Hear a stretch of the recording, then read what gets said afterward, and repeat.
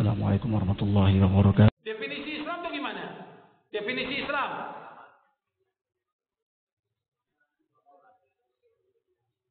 Definisi Islam yang udah ngaji atau panitia saya tanya ini.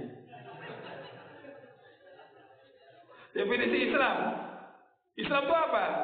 Kok nggak ada yang nyaut?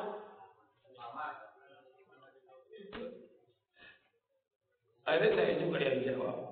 Islam itu al-istislamu lillahi bitauhid wal inqiyadu bi ta' wal bara'atu minasyirki wa ahli.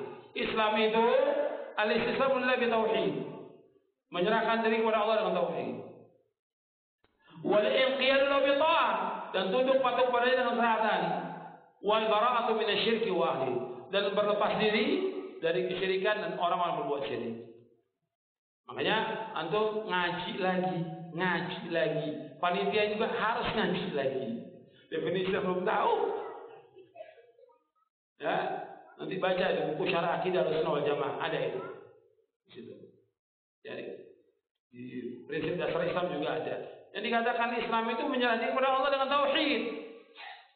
Istislam lillahi tauhid wal inqiyadu bil Tunduk patuh kepada Allah dengan ketaatan. Wal bara'atu minasy syirki wal Berlepas diri dari kesyirikan